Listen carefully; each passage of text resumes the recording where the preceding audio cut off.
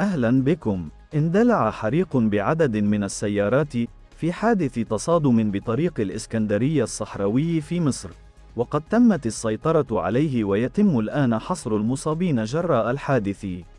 وكان حادث مروري وقع على طريق الإسكندرية الصحراوي بين عدد من السيارات، مما أدى إلى اشتعال النيران بعدد من السيارات، وتسبب في توقف حركة السيارات أمام القادمين من الإسكندرية تجاه القاهرة، وجاري فحص ملابسات الحادث وأعداد المصابين.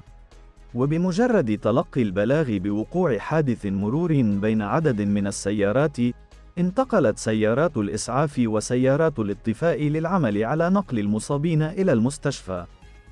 وأوضحت وزارة الصحة في بيان اليوم السبت أنه تم الدفع باء 20 سيارة إسعاف لنجدة المصابين، حيث تم نقل 40 مصابا إلى مستشفى الجراحات بواد النطرون، بينما تم نقل خمس آخرين إلى مستشفى غرب النوبرية المركزي، مشيرة إلى أن الطواقم الطبية تقوم حاليا بتقديم الرعاية اللازمة للمصابين في المستشفيات، وتقييم درجات خطورة الإصابات، مع استمرار المتابعة.